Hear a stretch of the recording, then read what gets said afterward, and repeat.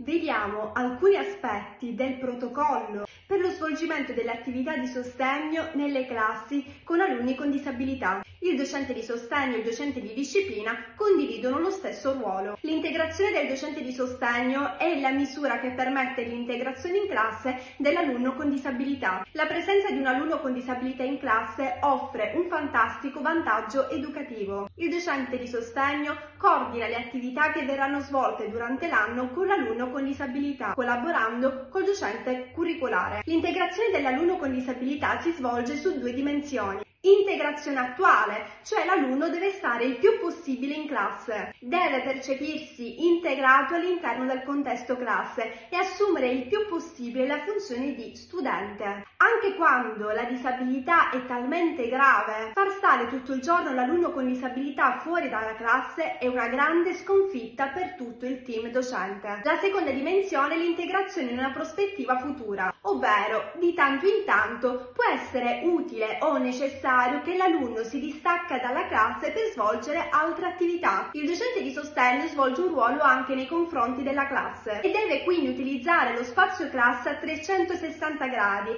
entrando in relazione anche con gli altri studenti. E il docente di disciplina deve svolgere abitualmente un ruolo, un compito a fianco dell'alunno con disabilità.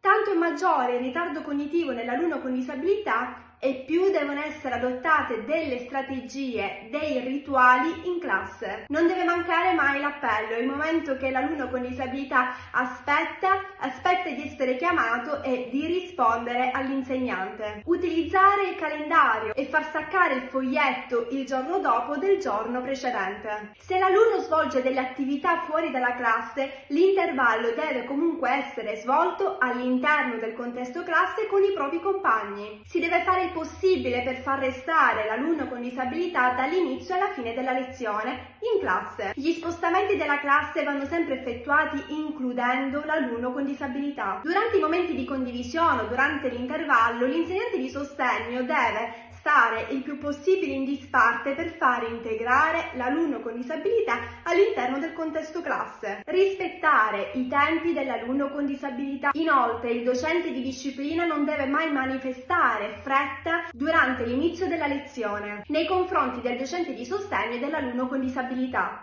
Deve anzi mostrare un'attenzione partecipativa. Gli scambi di comunicazione tra il docente curriculare e il docente di sostegno devono essere sempre rivolti a ad un'inclusione e, e non ad una separazione.